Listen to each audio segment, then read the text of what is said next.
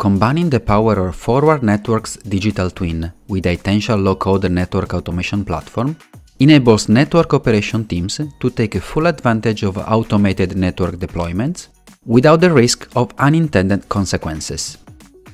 The use case covered in this demo is a service provisioning workflow that includes change management, pre-change checks, change deployment, post-deployment checks, as well as integration with common collaboration platforms.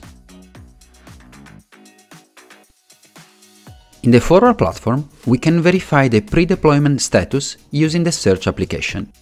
We quickly discover that a path is blocked by a firewall and which configuration rule is blocking it. Moreover, the permit all mode allows to make sure the routing to the destination is okay and no other firewalls or routers would block the traffic. In the Itential Automation Studio, we can see the forward adapter used to easily build automation based on the forward APIs, and the pre-built atomic automation, designed to individually support several use cases. The automated service provisioning is accomplished by combining them to automatically manage change requests, notifications, change deployment, and verification. In the Itential Automation Catalog, we see the service provisioning request automation. It can be triggered by external tools using northbound APIs, via the Itential scheduler, or manually. Next, provide the service details and start it. We can follow the automation execution step by step and easily visualize it. First, a Jira issue and a ServiceNow change request are created. Second, a notification is broadcasted to all communication platforms Third, the service provisioning starts. Fourth, an update is sent to Jira and ServiceNow. And lastly, a notification is broadcasted to the communication platforms. In the Slack channel, we see the Itential notification with a message and direct links to the Itential and Forward platform, as well as to ServiceNow and Jira. Drilling down in the service provisioning, we have several substages.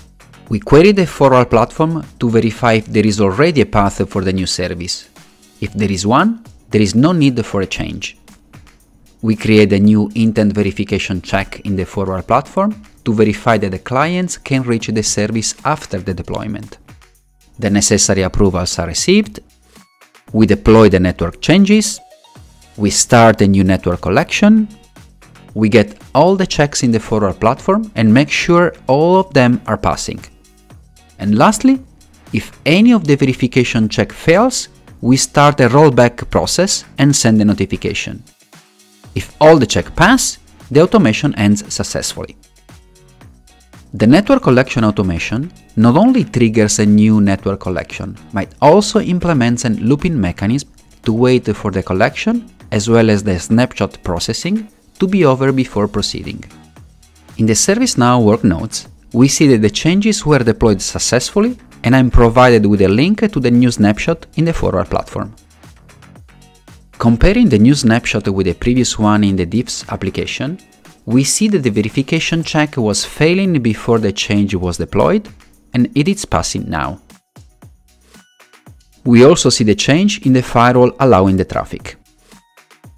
Moreover, all other verification checks are still passing, so no unintended side effects were introduced. You can rely on Forward Networks Digital Twin and Itential's low-code network automation platforms for your worry-free closed-loop network automation at scale.